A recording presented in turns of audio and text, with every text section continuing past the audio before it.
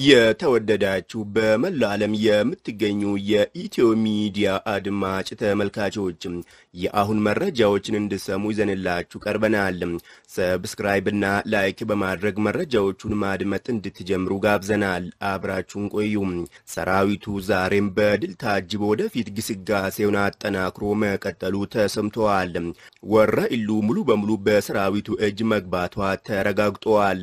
በሰኞ ገበያ የቡድኑ ተዋጊ ፈርጥጧል። ወልዲያ ከተማ ከወራት በኋላ በሰራዊቱ እጅ ለመግባት መቃረቧ ተነግሯል። በመቅደላ አምባ የህወሓት አማጺ ለወሬ ነጋሪ አለመትረፉ ተሰምተዋል። አማጺው ከአማራ ክልል እንደማይወጣ አስታውቋል። ውጊያውን አጠናክሮ እንደሚቀጥልም ገልጸዋል። ሱዳን በኢትዮጵያ ላይ ተጨማሪ ወረራ ለመፈጸም መዘጋጀቷ ተሰምተዋል። እነዚህና ሌሎችን መረጃዎችን በዝርዝር የምትሰሙ ይሆናል። አብራችሁን ቆዩ። ወረ ኢሉ ሙሉ በሙሉ በሰራዊቱ እጅ ገብታለች። ሰራዊቱ ወረ ኢሉን ለመያዝ በፈጸመው ከባድ የማጥቃት እርምጃ ከመቶ በላይ የቡድኑ ተዋጊ ተማርከዋል። ቁጥሩ ቀላል የማይባል ተዋጊ ደግሞ ቁስለኛ ሆነዋል፣ ተደምስሰዋል ተብለዋል። ከዚህም በተጨማሪ በርካታ ታንክን ጨምሮ ሌሎች መሳሪያዎች በሰራዊቱ እጅ መግባታቸው ተገልጿል። በወረ ኢሉ ድባቅ ሲመታ የፈረጠጠው ቀሪው የአማጺው ተዋጊ ወደ ሰኞ ገበያ ቢገባም በዚያም አይቀጡ ቅጣት ተቀጥቶ እየወጣ መሆኑ ተገልጸዋል። በሰኞ ገበያ የአማጺው ተዋጊ በፋኖና ሚሊሻው በመብረቃዊ ምት ተመትቶ ትጥቁን ሳይሰበስብ መፈርጠጡን ታማኝ ዜና ምንጮች አስታውቀዋል። በእርምጃውን በርካታ የቡድኑ ተዋጊ መማረኩና ቁስለኛ መሆኑ ተሰምተዋል። በአሁኑ ሰዓት ወረ ኢሉ ሙሉ በሙሉ በሰራዊቱ እጅ መግባቷ የተረጋገጠ ሲሆን ሰኞ ገበያ ሙሉ በሙሉ በሰራዊቱ እጅ ገብታለች ለማለት በሚያስደፍር ሁኔታ ላይ ትገኛለች ተብለዋል። ሰራዊቱ የቀረውን በሽሽት ላይ የሚገኘውን ኃይል እየለቀመው እንደሚገኝም ተገልጸዋል። በሌላ መረጃ ሰራዊቱ ወልዲያን በእጁ ለማስገባት መቃረቡ ተነግሯል። የቡድኑ መተማመኛ ምሽጉ ተሰብረዋል። በርካታ ተዋጊውም ተማርከዋል።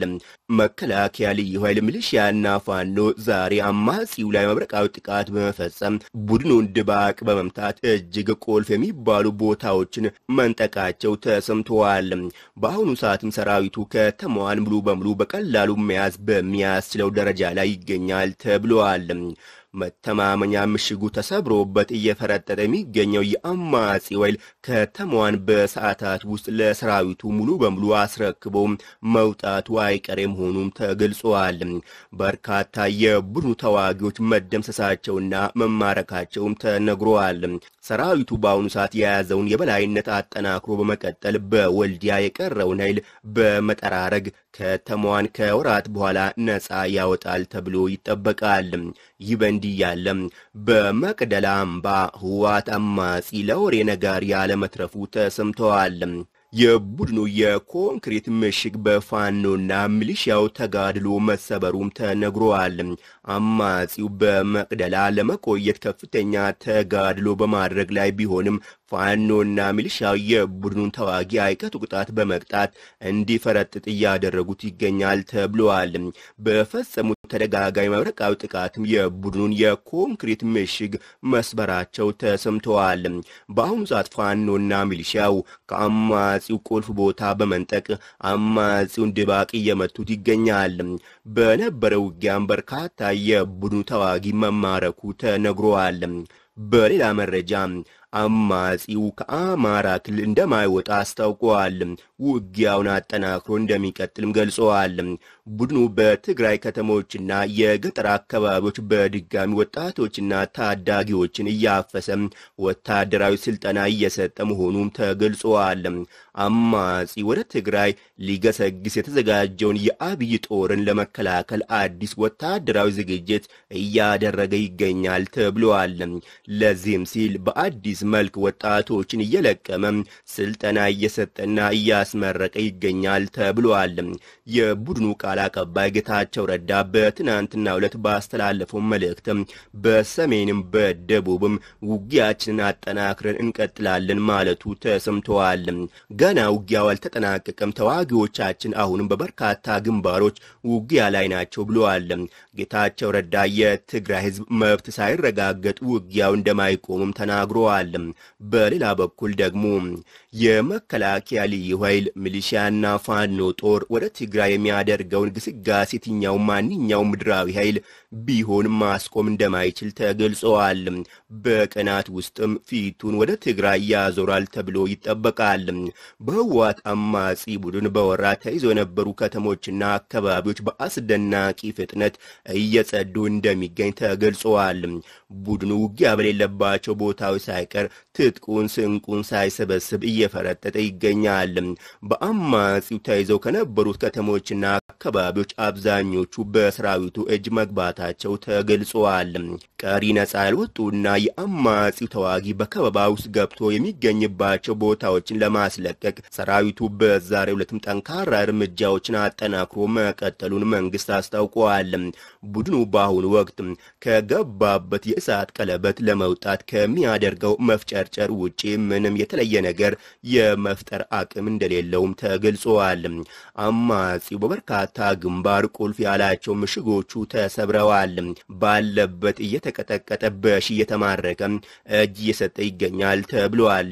መከላከያ ልዩ ኃይል ሚሊሺያና ፋኖ ዛሬም በአማጺው ተይዘው የነበሩ በርካታ አካባቢዎችን ማስለቀቅ እንደቻሉም የመረጃ ምንጮች አስታውቀዋል።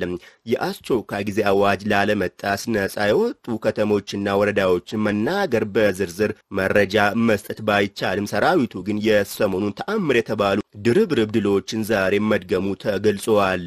በዛሬው ዕለትም በቡድኑ ላይ በተወሰዱ መብረቃዊ እርምጃዎች በሺ የሚቆጠር ተዋጊው እንደተማረከም ተገልጸዋል። በአንድ በስም ባልተገለጸ ግንባር ከሶስት መቶ በላይ የሚሆን ተዋጊ እጅ ሰጥቶ በሰልፍ መግባቱም ተገልጸዋል። ሰሞኑን በአማጺው ላይ በተወሰዱ እርምጃዎች በተመሳሳይ ሁኔታ በርካታ የአማጺው ተዋጊ ለሰራዊቱ እጅ ሰጥቶ እንደነበር ይታወቃል። እጅ የሰጡና የተማረኩ የአማጺው አባላት ወደ ውጊያ ሜዳው በግዳጅ እንዲገቡ እንደተደረጉና መንግስት እጅ እንዲሰጡ እድል መስጠቱ መልካም የሚባል መሆኑን ገልጸዋል። በአሁኑ ሰዓት በከበባ ውስጥ ገብቶ የሚገኘው አብዛኛው የቡድኑ ተዋጊ እጅ የመስጠት ፍላጎት እንዳለው ማስታውቀዋል። ሆኖም ግን አማጺው ከፍተኛ ቁጥጥር እያደረገ በመሆኑ ተዋጊው ተነጥሎ ለመውጣትና እጅ ለመስጠት እንዳልቻለ ተናግረዋል።